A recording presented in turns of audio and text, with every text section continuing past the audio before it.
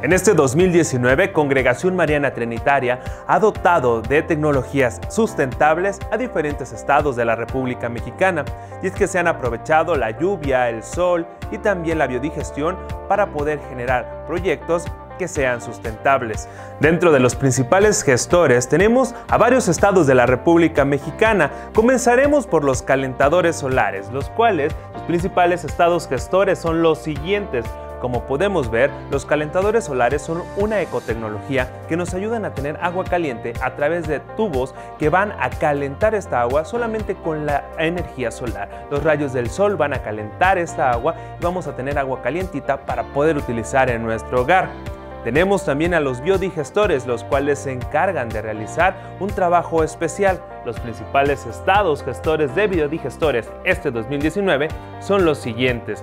Un biodigestor nos ayuda a poder procesar el biogás que posteriormente podemos utilizar como combustible.